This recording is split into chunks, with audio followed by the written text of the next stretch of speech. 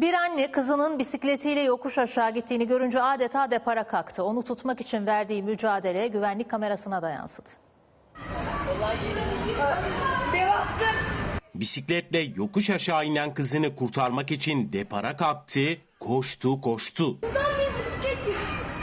Neyse ki aşağıda biri çocuğu gördü ve anneden önce müdahale etti. Baktım ki yukarıdan bir kadın koşarak geliyor. Önümde çocuk bisikletle geliyor. O anda el frenini çekip kapıyı açtım. Çocuğu kurtarmam. Hepsi bir iki saniyede olan bir şey. Çocuk değil ama anne çok korkmuştu. Annesi o anda şoktaydı. Çocuk bile ağlamıyordu. Bir kütle gibi kucağıma geldi. Onun evladı için canını dişine takıp nefes nefese koştuğu o anlarsa günün en çok konuşulan görüntüsü oldu.